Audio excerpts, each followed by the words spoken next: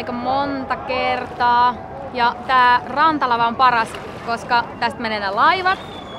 Ja muistan ihanaa silloin joskus, kun kovemmat kädet oli jotenkin iso levy, niin sitten mä esinyttiin tässä ja soitettiin Oosselle jossain mun, jossa mainitaan se Ruotsin laiva ja se meni tosta just silloin. Siis alun alkaen, niin tota, silloin kun oli Nirvana soittamassa, niin mun vanhemmat taktikoi sillä että ne vei mut ja mun siskon risteilylle ja yllätys, yllätys, mennään tuosta ohi kun Nirvana soittaa ja tajuttiin, että vittu meitä on vedätetty.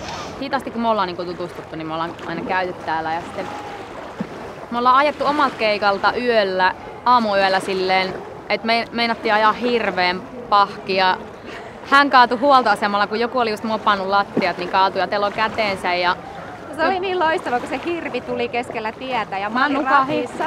Sitten mä aloin huutaa, että Paula nääksä? Sitten Paula, no nää, nää, jarruta saatana. Eikö väistää, niin, väistää. Kun hän on vaan, miksi sä sitten sit me mentiin hänen himaan, niin sitten hänen isäpuoli oli tehnyt meille semmoisen mehukattitonkkaan, meille semmoisen lantringin. Ja pisti meidät vaan festareille. Sitten me kerettiin kuuntelemaan eka bändiä, mutta siitä tuli se mehukatti meidän biisiin se tonkka, kun meillä oli oikein eväät. Joo. Hän kyllä kiskona jo ennen kuin me päästiin siis tänne. Siis matka aikaa. Mä jotenkin se oli niin hyvät mittasuhteet, että mä latkin sen koko pullon melkein Ja semmonen juttu vaan, että se kyllä maistui samalle kuin linnanjuhlien booli.